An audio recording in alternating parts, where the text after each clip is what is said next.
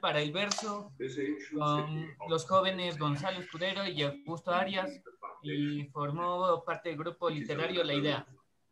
Eh, también viajó a Europa, donde estudió filosofía y letras en Barcelona. También viajó a España, Francia, que también residió por algún tiempo en Inglaterra y Alemania. A su retorno ejerció la función pública. Posteriormente fue designado el ministro de Relaciones Exteriores. Ya.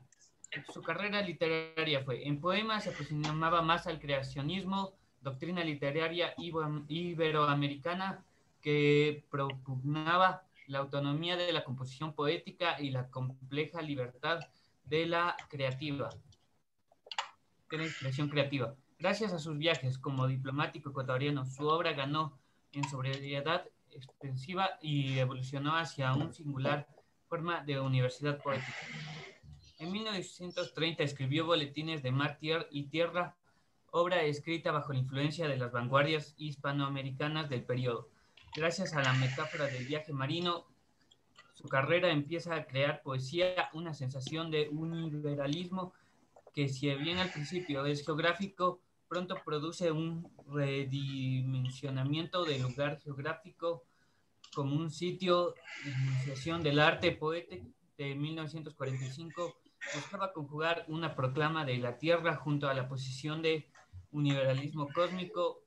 El poema da título del libro, insiste en esta línea de impresiones metográficas ligadas a la Tierra. Y estos son algunos de los libros que escribió, de las poesías que escribió, en las cuales están Estante Inestable de 1922, La Guirnalda del Silencio de 1926, Boletines de Mar y Tierra de 1930, El Tiempo Manual de 1935, La Hora de las Ventanas Iluminadas de 1937, Biografía para uso de los pájaros de 1937, El País Secreto de 1940, Microgramas de 1940 igualmente, eh, Lugar de Origen de 1945, El Visitante de Niebla y otros poemas de 1947, Familia de la Noche de 1953, Floresta de los Guacamayos de 1964 y Vocación Terrena de 1972.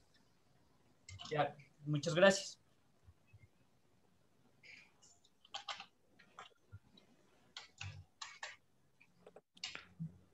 Les decía yo que para finalizar esta parte, en este caso, antes de, de tomar en cuenta la, la biografía de Jorge Carrera Andrade y para poder separar de manera adecuada eh, todas las otras que hemos visto que son, se refieren al realismo en sí como escuela y como Jorge Carrera Andrade es un autor vanguardista, entonces la van a poner en resumen, pero poniendo aquí un subtítulo de autor vanguardista para tomarlo en cuenta, ¿sí? ¿Ya? Listo. Em, me decían que en este caso necesitaban ver el dónde, dónde grabé en este caso la, la primera, las primeras exposiciones, ¿no?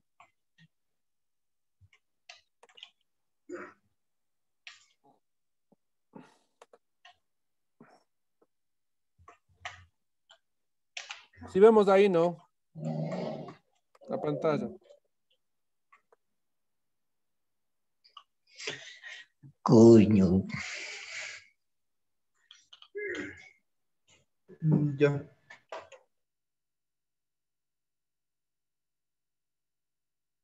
ahí están todos los videos de todas las clases, ¿no? Ahorita voy a ponerles el, el link de solo de exactamente de su video.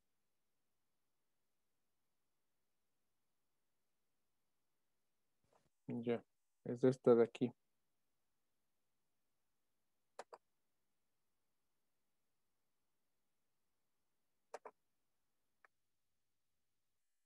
Igual está grabado en dos partes porque se hicieron.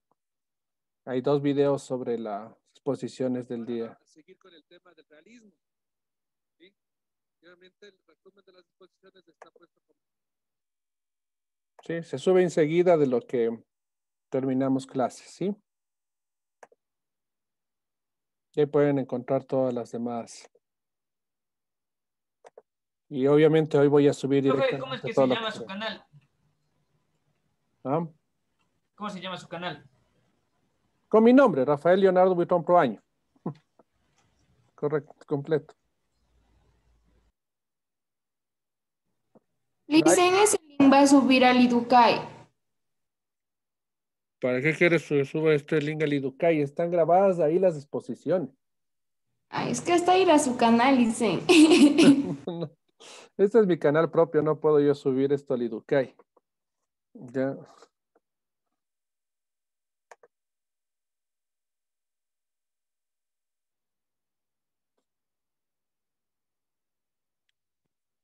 Listo, entonces ya está ahí el enlace.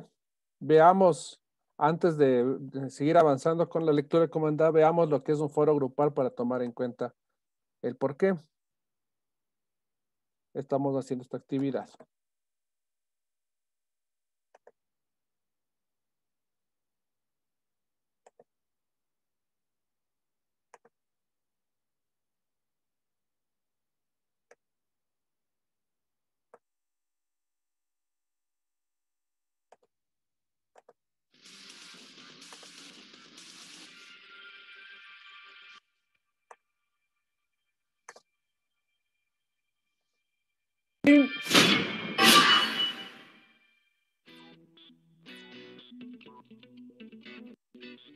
Bienvenidos a la ciudad del aprendizaje.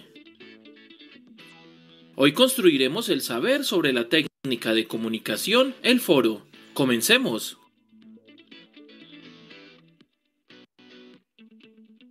El foro es una técnica de comunicación en la cual un grupo de personas se reúne para conversar e intercambiar sus ideas y opiniones sobre un tema, hecho o problema específico.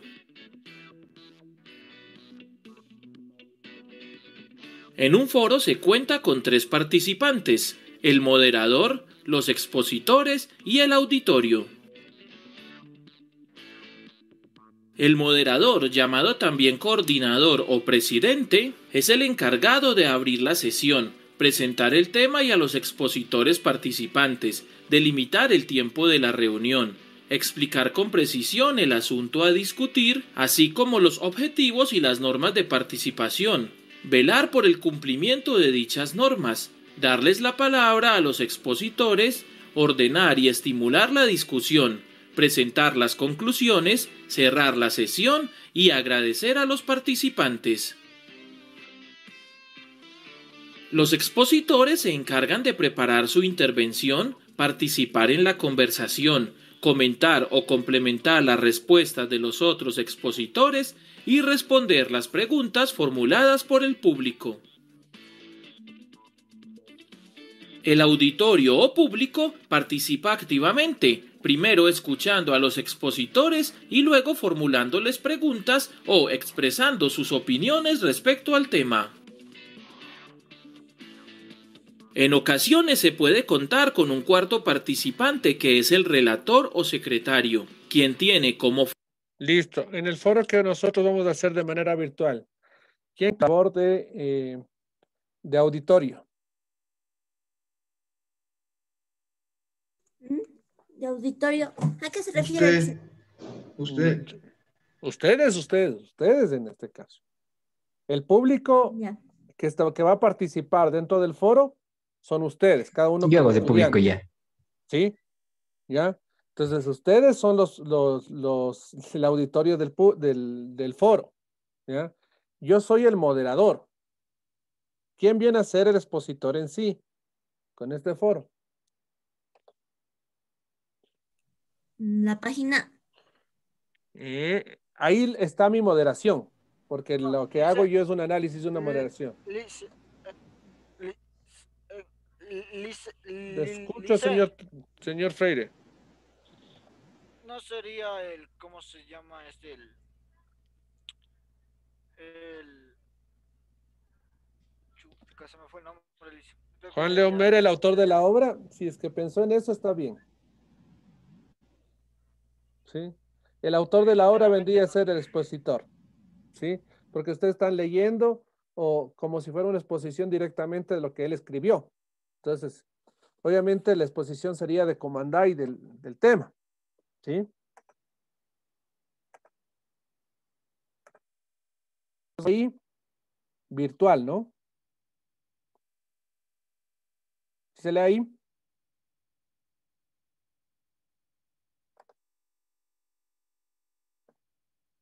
Sí, listen. Ya, Melanie, por favor, puede ser que me leas lo que está ahí en el foro virtual. Leo, ¿Sí? ya. El foro virtual es un centro de discusión acerca de un tema en particular que, con- que concentra opiniones de muchas personas de distintos lugares en forma asincrónica. Esto último significa que la comunicación entre las personas se da sin necesidad de que éstas se encuentren usando la plataforma de manera simultánea. Cada persona que se conecte independientemente del momento tendrá acceso a los mensajes que queden registrados en la temática del objeto de discusión. La participación en un foro de discusión virtual permite compartir reflexiones, búsquedas y hallazgos, así como solucionar problemas mediante las respuestas a las preguntas generadoras de discusión. Listo. Entonces, lo que estamos haciendo en la actividad es un foro grupal, pero de manera virtual, que puede ser en, en que no lo que la diferencia a un foro en un momento y un horario es el hecho de que eh, ahí hay un, un límite eh, de horas de participación. O sea, es- se participa esa hora donde se hace la exposición y punto, se acabó. Pero las opiniones en este caso son asincrónicas, se pueden opinar en cualquier momento y el foro queda abierto para eso. ¿sí? listen. Ya comenté, sí está bien lo que comenté. Mm, No voy a revisar enseguida porque me toca probar primero, Paula. A ver, en todo caso, eh, les vuelvo a poner el enlace, ¿no? Y tomen a consideración igual, antes de comentar este, este pequeño análisis que yo hago antes de, como moderación del texto, ¿sí?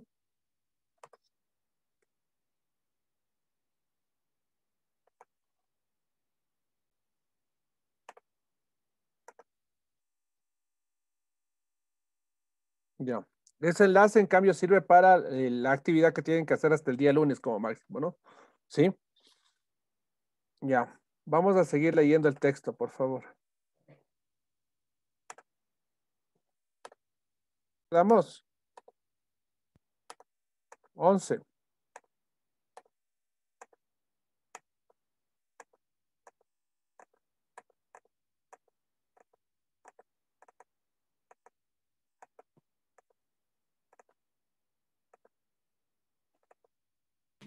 O sea, listen, una pre- pregunta. Tenemos que comentar y qué después qué tenemos que hacer en el blog.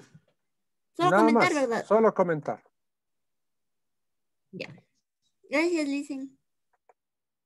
Si en la perspectiva pueden poner una opinión adicional sobre las- la elección del, del plan lector, ¿qué les ha parecido los libros de una vez, los primeros dos que han leído, y me dan un pensamiento general de que si se están tomando buenas, bien las decisiones en lo que se refiere a la elección de los libros, a mí me da una, un punto, un pensa, eh, me da a mí en este caso, formas de ver si es que eh, para las próximas elecciones que se hagan los siguientes años, ¿no?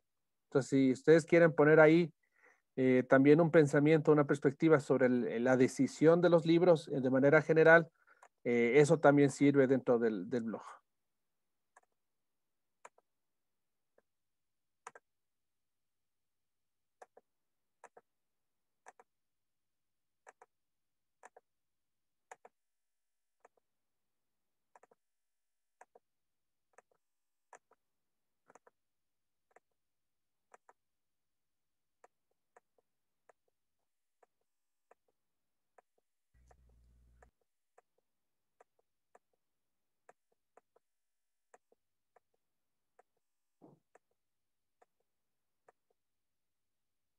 El 10 sí pasaron ustedes, ¿no? Desde el 11 tengo que comenzar.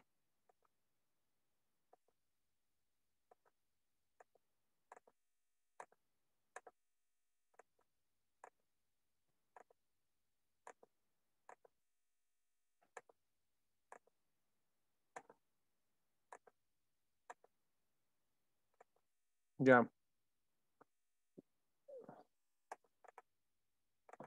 Ya. Ahí está, fatal árbitro, ¿no? Mario, por favor, comience usted.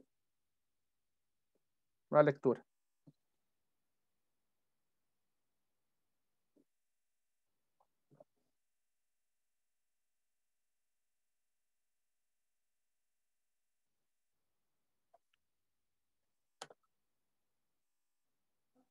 ¿Sí me escucha ahí, señor Alcócer? Ya se fue. Nayeli, puede ser que siga usted.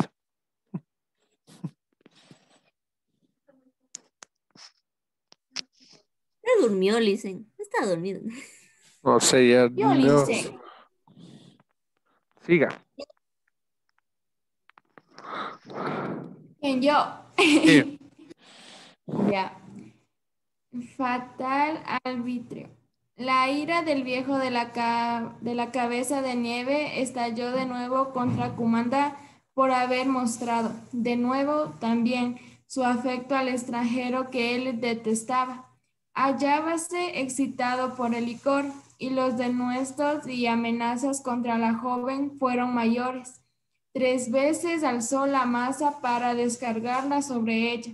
Tres veces le enderezó al pecho de la aguda pica, furioso como un zaino herido.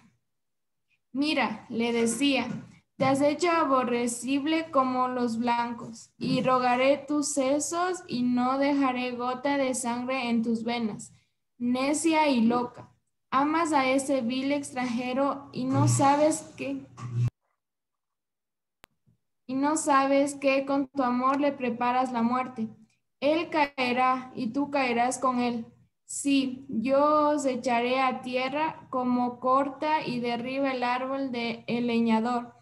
Te has vuelto como el blanco objeto de la venganza del terrible Tongana y esa venganza se...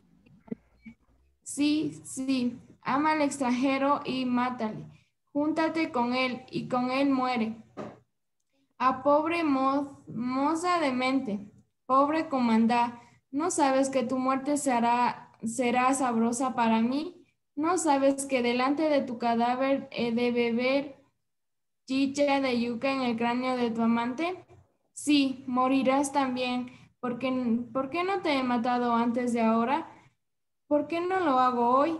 Ah, estamos en una fiesta y que dice Aguarmaki y los páloras más. Sigo. Sí, termina de una vez. Tras esta reticencia de amenaza, se siguió con el corazón del viejo furioso, un juramento que confirmaba para sí cuanto acababa de expresar y que lo manifestó a su hija alzando una mano y mostrándole la palma, como quien dice, aguarda y ya verás. Dani. Señor Moya. Una lloraba, sus hijos lloraban. Perdón, Liz. ¿A dónde estamos? Eh, Pona lloraba, sus, sus hijos temblaban. Ahí estaba, Lice. Sí, ahí estaba. Sí, los niños se habían ocultado, llenos de terror entre los trastos volcados en el aposento. Solo Comandá, noble y altiva en medio de su pena y cuidado. Tenía enjunto los ojos y de cuando en cuando dirigía a su padre miradas de glacial indiferencia. Ahí. Siga. ¿Qué es? Su compañera leyó una hoja y usted le da un párrafo. Siga. A ver, padre mío, dijo al fin por todas respuestas a las increpaciones y amenazas de Tongana. Tus canas son el respeto de tus hijos y tus palabras son sagradas. Órdenes para ello. Tu hija soy. Puedes quitarme la vida que me diste, pero con ello no creas que me harás mal. Ninguno. ¿Acaso matar a un desdichado es castigarle? Iba a retirarse, pero el viejo la, detuvo de un brazo con rudeza, diciéndole, espera, obliga, oblígala a permanecer en pie, mientras hon- hondamente pensativo la diestra apoya, apoyada en su masa, de cocobolo, claveteada de colmillos de zaino y la siniestra cerrada y los labios apretados. Parecía un victimario, indeciso, entre descargas o no el golpe sobre la víctima. Al cabo de algunos minutos de cavilación, tira a un lado la masa, se golpea la frente con la mano, murmura. Está bien, enseguida apura una buena porción de licor y dice a todos, venid, seguidme. Y haciendo de la mano a comandar, se la lleva a la cabaña del jefe de la fiesta. Y a Guarmarqui, bastante ebrio, también yace rodeado de los principales guerreros de las diversas tribus. Todos conversan a un tiempo, pues donde escasea el juicio abundante. Las palabras quien ensalza las hazañas del, anciano.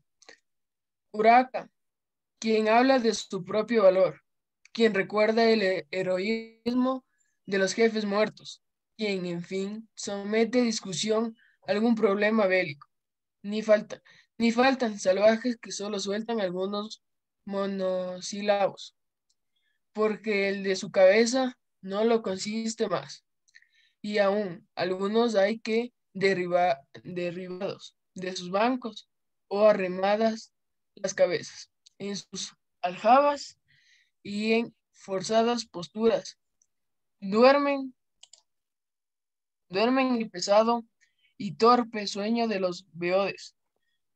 Por fuera no cesa el monótono, son de los tamboriles y pífanos, y se oyen cuando, cuando ruidosas carcajadas, entre blasfemias y juramentos, voces pendencias, clamores de mujeres y agudos lloros de niños, que compiten con los derechos, ah, con los desacordes pitos. Todo anuncia que el rústico y festín ha llegado a su colmo.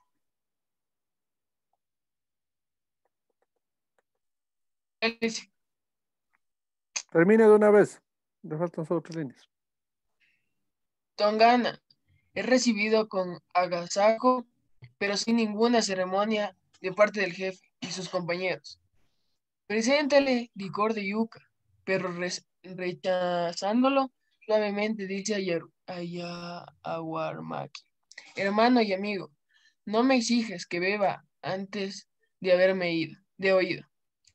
Nunca me opongo, contesta el jefe, al querer de mis hermanos, lo que me enviaron mensajeros con tendemas amarillos. ¿Qué me quieres, Tongana? Háblame con libertad. Wendy, siga, por favor. Ya. Ya, ahí. Tú eres gran curaca, gran jefe de las fiestas de las canoas y querido de Dios bueno y de los beneficios genios. Los amigos te respetan y los enemigos te temen. Entre tus amigos me cuentan también yo que te envíe mi hijo ceñido del tendema, de la paz y la fraternidad.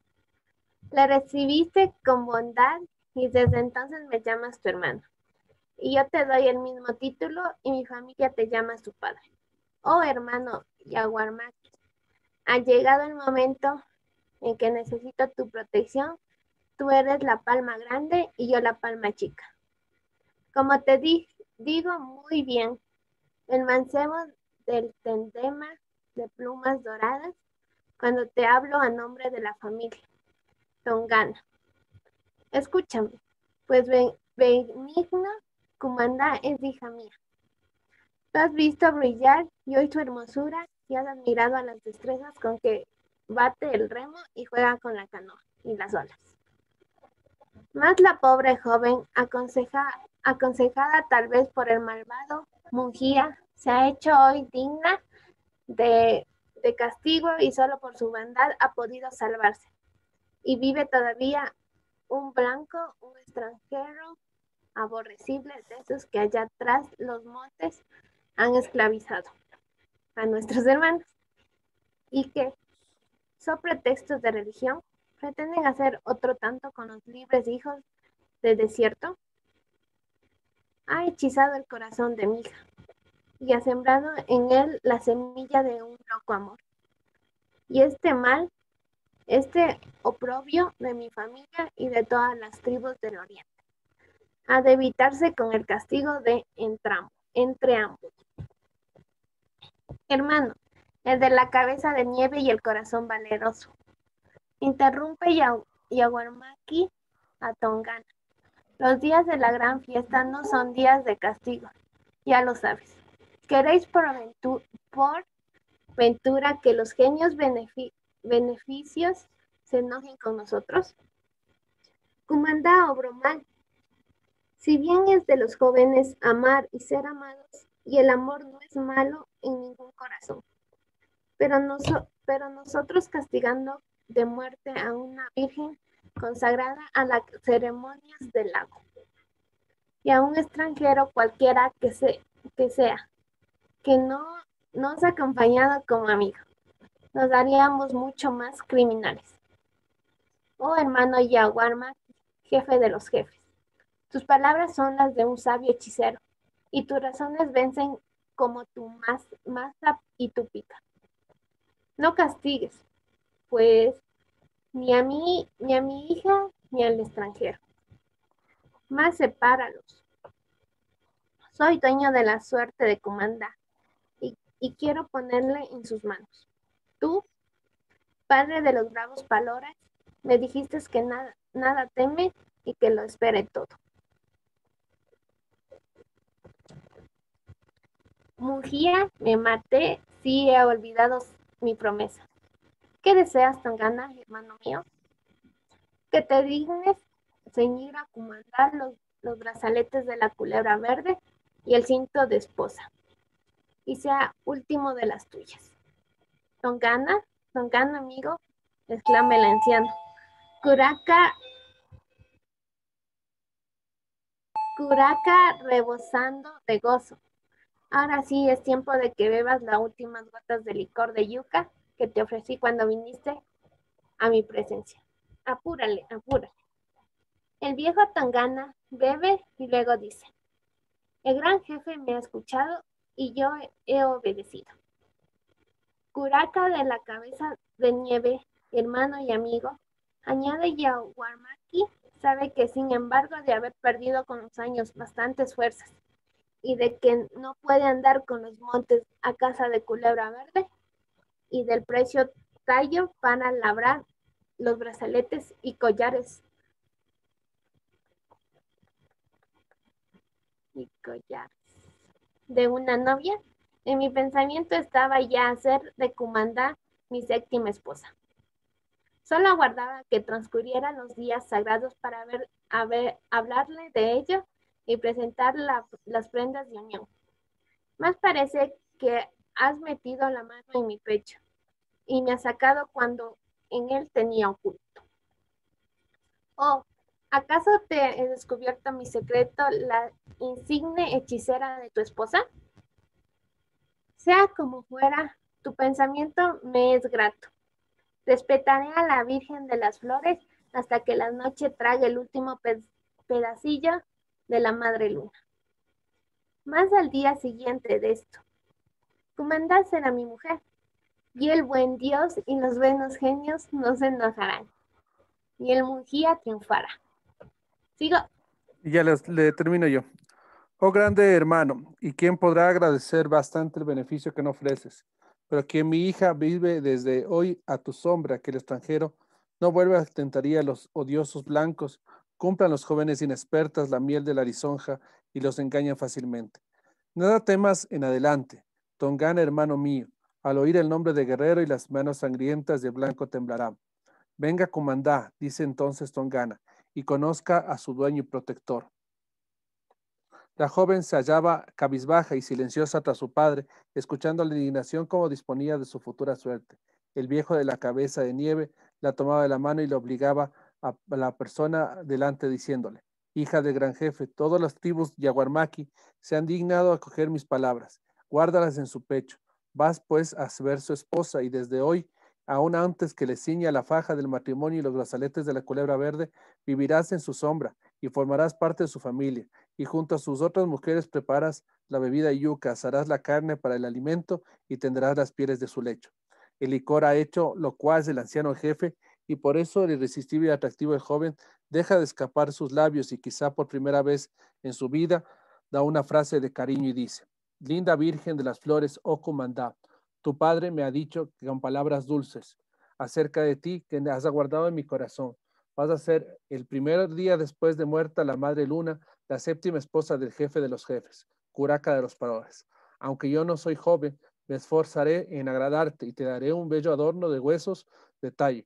Si no puedo presentar uno nuevo, te daré dos, arrancaré mis enemigos, pues si es difícil de cazar el tallo de huesos preciosos, es muy fácil para mí derribar un par de enemigos y arrebatarles las vías pendientes y sus armas. Te daré también la más de los adornos dichos de muchas y lindas sartas de jaboncillos, partidos simientes de copal, dientes de micos y dos cintos de paja con labores de alas y moscadones, dos vestidos que hechos a mano, dos segundas cortes de yamancha, y será fácil, oh comandaya Guarmaquio poderosa, te lo aseguro. ¿Ya? ¿Se entiende? Ah. Es un, es un triángulo amoroso, dicen. Se podría decir algo así. Se podría decir Aquí la, la, historia principal de la, de la, es, una, es una novela sentimental fuera de toda la historia de la, que lo que hemos analizado, el realismo, eh, eh, Comandá es una novela sentimental, sino que el amor de Carlos y Comandá no se puede dar, porque él es un blanco y ella es una indígena, ¿sí? Sino que en esta parte de aquí lo que se muestra es que eh, los, los indígenas en este caso indignados por eh, el hecho de que del amorío de Comandá con Carlos, lo que hacen es obligarla a casar de alguna manera con un viejo que ya tenía varias esposas y era parte de la tribu. ¿Sí? Y se hace un ritual por el cual en este caso su papá designa a él como su esposo. ¿Sí? Más o menos es así como está puesta en esta parte de la historia. ¿sí? Entonces se ve el asunto de las supersticiones y todo el tema, pero obviamente el, eh, el relato sentimental, el amor imposible que se da dentro del conflicto es entre Carlos y Comandá, ¿sí? Que es la historia general, ¿sí? Díganme, Paula. Pedófilos son esos, pedófilos. ¿Cómo puede casarse con uno de siete esposas? Ni uno consigue nada y ya están con siete esposas. ¿Qué será? Estamos hablando de la antigüedad y estamos hablando de, o sea, en este caso, costumbres de, de las tribus, ¿sí? Ah, tomadas. y se podía casar con cuatro esposas en la antigüedad y me quedé. No, o sea, es, es una costumbre de las tribus, o sea, es como en este caso, los, los, los árabes conversa, conservan ese, ese tipo de, de costumbre desde, desde la antigüedad por, por eh, razones de, eh, eh, en este caso, costumbres machistas que ellos mismos han tenido. O sea, los indígenas de aquí se, nota que, tienen costumbres machistas hasta la actualidad, ¿sí? Entonces, obviamente, en, la, en, esos tiempos tenían esa, esas costumbres de, de, que los, los considerados, en este caso jefes o, chamanes, tenían posibilidad de casarse con una o más esposas. Entonces, ya vienen eh, eh, dadas a las costumbres y creencias y supersticiones de cada una de las tribus que está tomada en cuenta dentro de esta historia. ¿Sí? Ya. Ahora, mm, nos quedamos ahí. Eh, vamos a, usted, ustedes pueden avanzar hasta el capítulo 12 y yo les tomo la lección de la próxima semana hasta el capítulo 12. Quedemos en eso. Sí, incluido el capítulo 12. Ya le hice. Desde el capítulo 1 hasta el 12, ¿verdad? Sí, de capítulo 1 hasta el 12. Y con eso repasan todo eso para tomarles el viernes ese control de lectura. ¿Sí? Muchísimas gracias. Listo, está ahí. Gracias, chicos. Gracias, dice.